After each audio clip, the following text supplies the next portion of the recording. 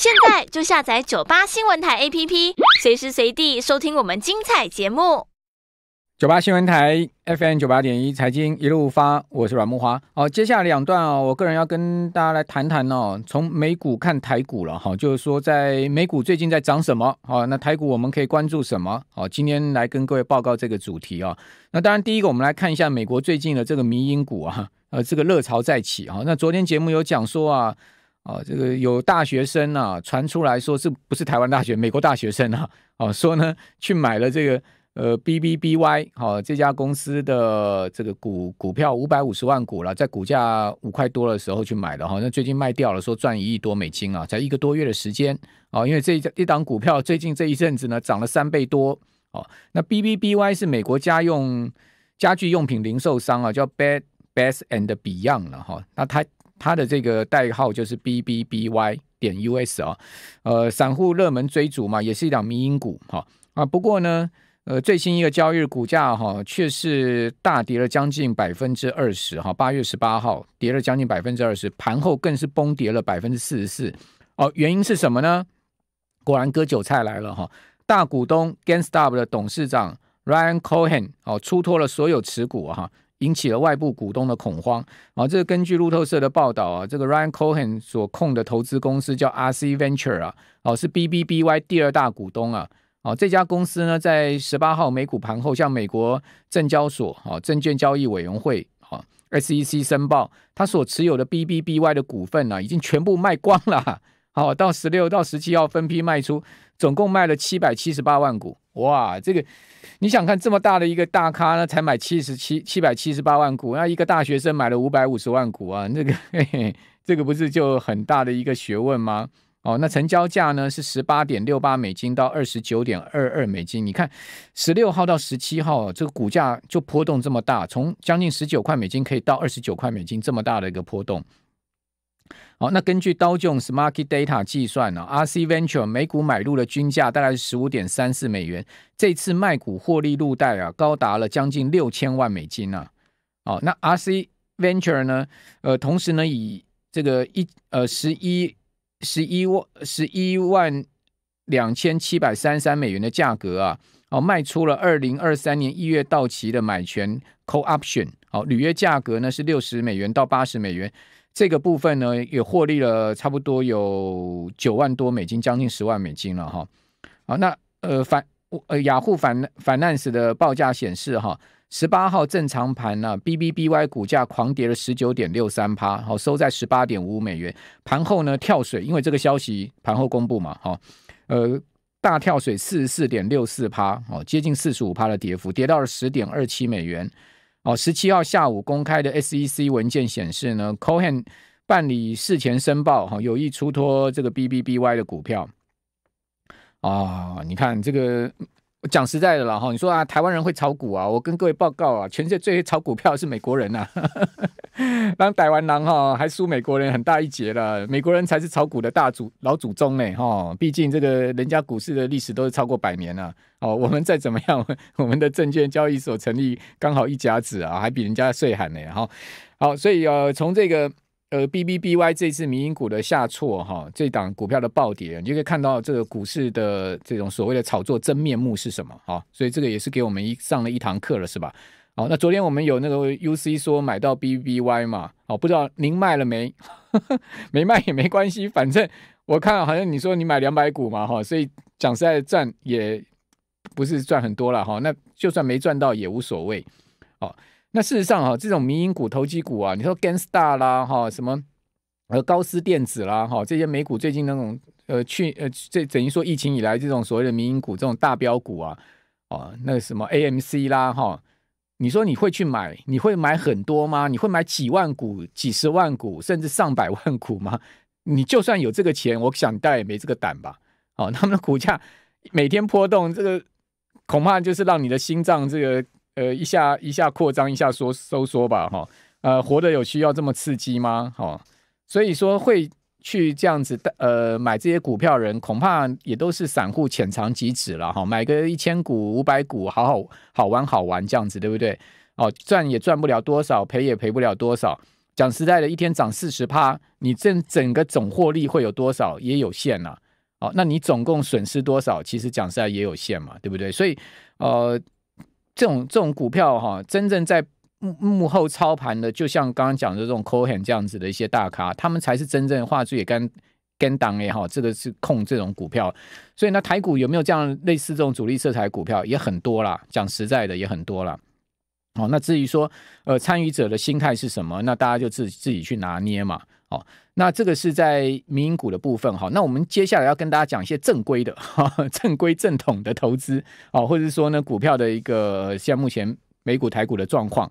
好，那我们回到整个 S M P 五百指数来看哈，今年以来啊，呃，标准普尔五百指数的跌幅啊，到美股周四啊，哈，它已经收敛到十点六九趴了哈。各位可以看到，我们帮今天有帮大家把这个图形准备出来。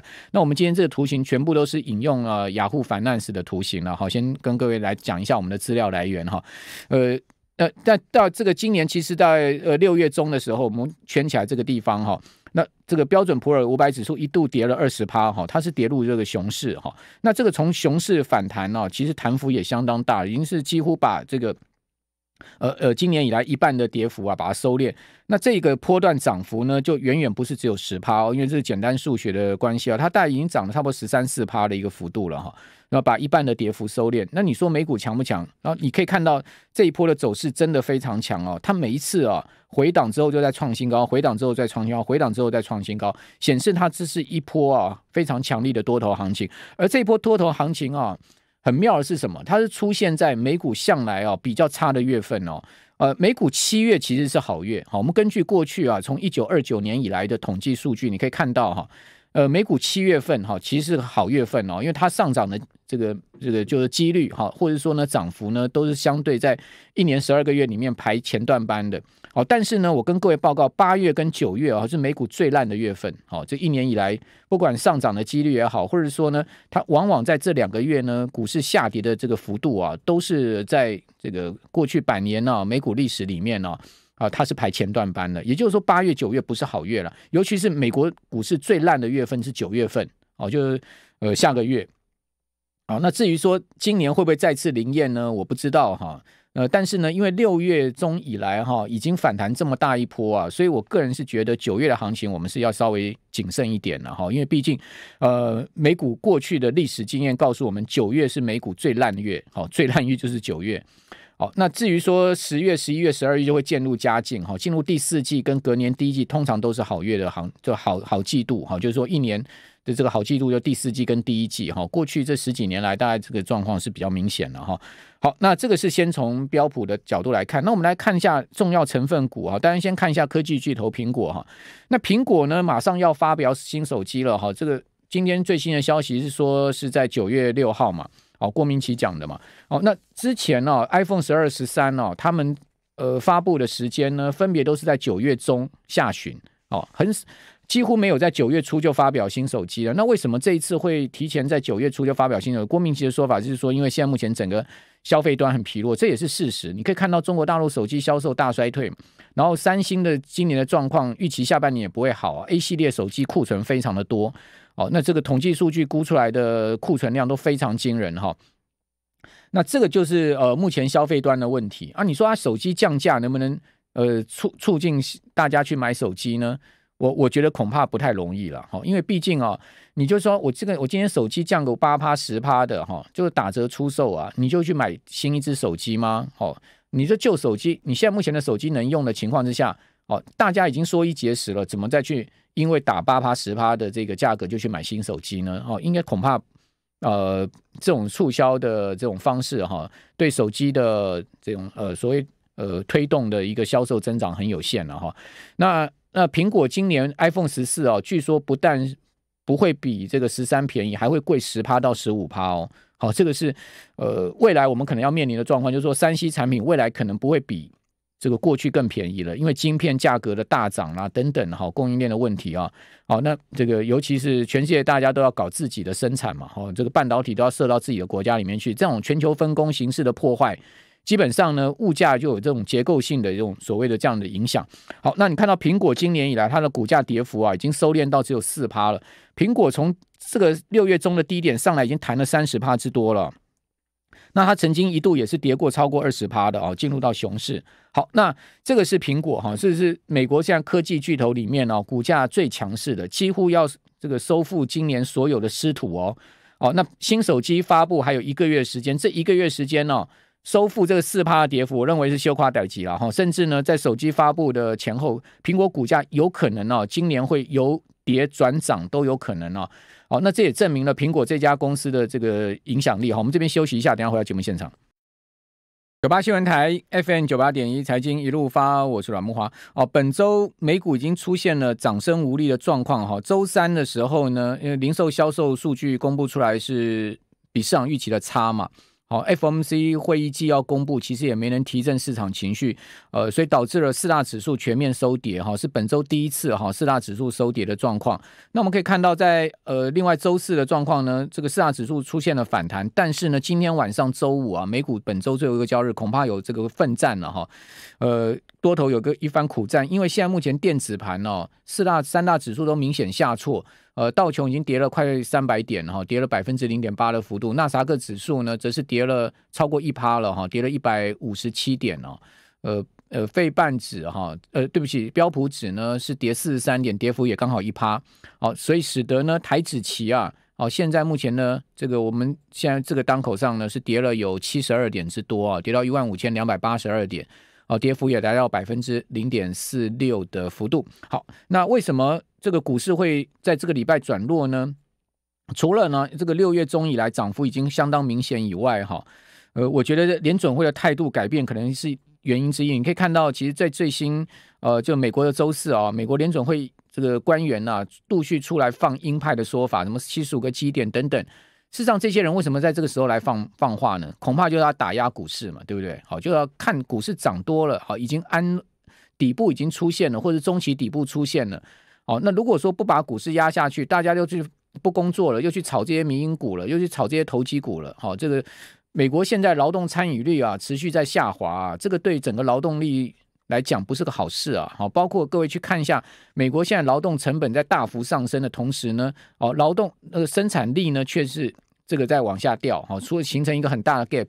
那联总会当然不乐于见到这样的一个状况啊，因为大家知道说这个基本上生产力是一个国家竞争的基础啊，啊，但是美国的生产力的指数却是不断的在往下掉哦，而且是幅度非常大的往下掉，劳动参与率又往下掉。那如果你是这个决策官员的话，哦，你会放任这个就业市场是这样的状况吗？虽然表面上看起来三点五的失业率好像非常好，但事实上它这个中间有很多的黑数，哦，或者说呢，呃，分母啊，计算失业率分母减少的问题，哈，所以说基本上我觉得联总会是不热见，哦，这些迷因股啊，这些呃这些投机炒作的风气再起，哈，所以当然他要在这边去扑灭股市这种所谓的投机投机的热度嘛，好，这个当如果站在执政官员或者说站在整个决策者来讲，看到这种现象应该是蛮这个很容易理解哈。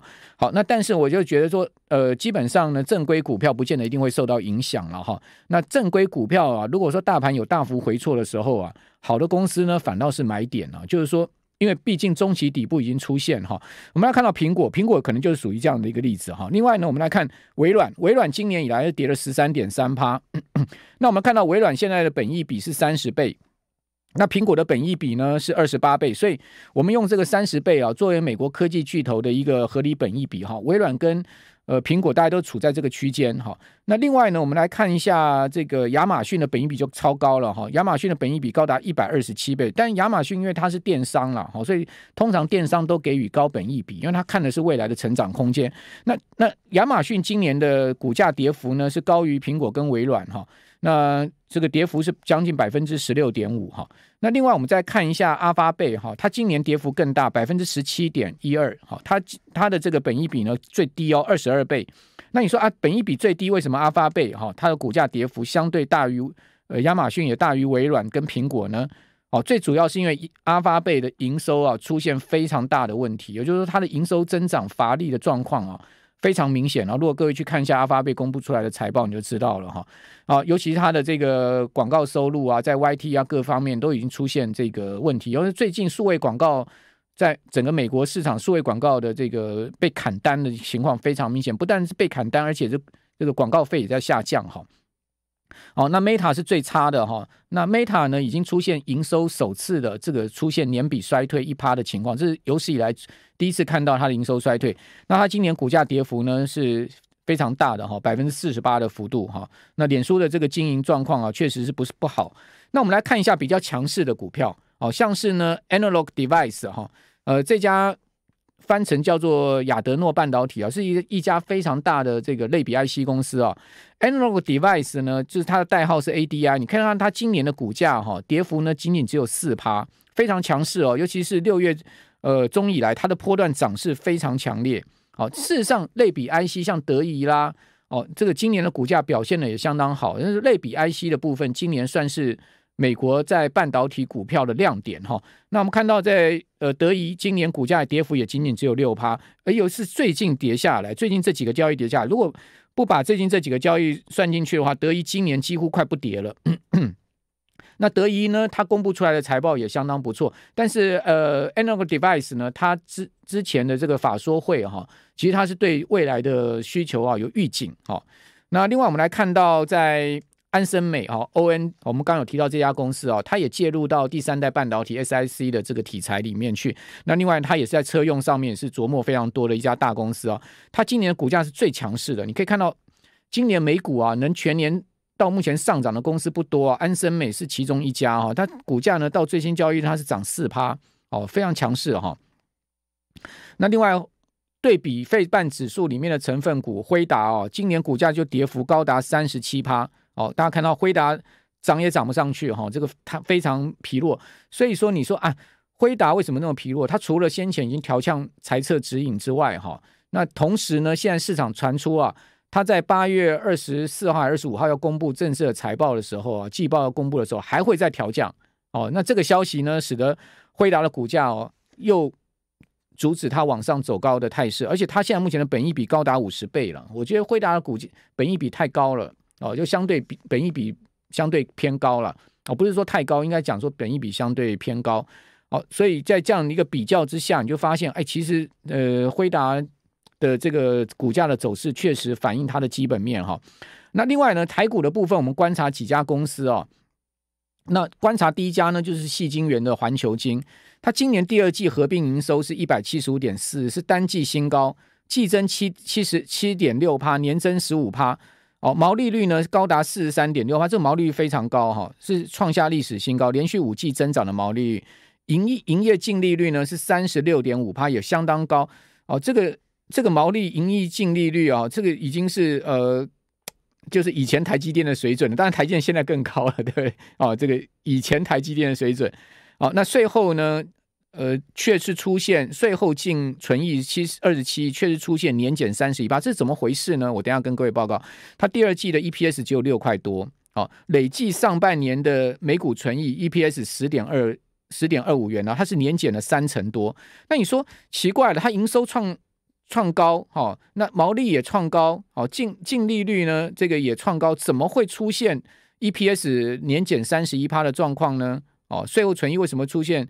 呃，这样的一个状状况呢，好，主要是因为它呃持股这个德国世创啊十三趴的股这个股票，结果世创今年股价大跌，大家可以看一下这张图啊，就是世创今年的这个股价，我现在标出这个十字游标线哦，是二零二一年十二月一号，当时世创的股价在一百四十块欧元呢，哦，这一波最低跌跌破到这个七十块以下哈。那最近回到七十五块欧元，因为呢这一段的大跌啊，使得呢环球金的业外损失非常的惊人哦。各位看一下环球金的业外损失，哦，今年第二季的业外损失高达八十亿啊，哦，然后呢它的业外获利率呢是负的二十三点六趴，哦，那今年呃去年的全年业外损失只有全年哦只有这个十二十二点五亿，今年上半年的业外损失就高达八十亿，哦，你就知道这。这个就是什么？就是那个市创股票跌价的损失哦，所以导致了它的 EPS 呢出现了大减。虽然说，呃，它的这个呃各三率都是创创高的哈，但是呢，就是一个市创的股价的下跌。那这个市创最近股价似乎已经开始见到这个波段低点了。如果下半年市创股价涨上来的话，环球金当然就有所谓回冲这个损失的条件。好，所以这也是呢，嗯，后续观察环球金股价一个重点。就是你要如果如果各位要去这个关注环球金的话，你同时也要去关注世创的股价，因为环球金的本业是相当不错啊。哦，因为包括台盛科的法说也出来，就是说八寸、十二寸现在都是满载嘛，六寸可能稍微差一点。哦，那。唯一呢，环球金现在的最大的这个外部因素就是市创股价的变化。哦，如果市创股价下半年大涨上来的话，哇，那这个想象空间就出来了，对不对？那台盛科我们也给大家看一下啊，时间的关系，我可能没有办法详细讲。台盛科今年上半年的这个获利哈是年增三点六五倍，每股纯益三三点三三元，第二季了哈，上半年的获利。增了二点八倍，每股存益将近快六块，所以从台盛科跟环球金，我们都可以看到，事实上在细晶圆的部分呢，确实还是不错的。好，那接下来本来要跟大家谈这个，像是汉磊了哈，这个当然今天汉磊已经讲很多，我今天就不讲。还有像像像东碱的基本面、华兴的基本面，时间的关系，我们今天就先讲到这边嘛。如果有时间，我们以后再跟各位来谈谈。好，我们下礼拜见，拜拜。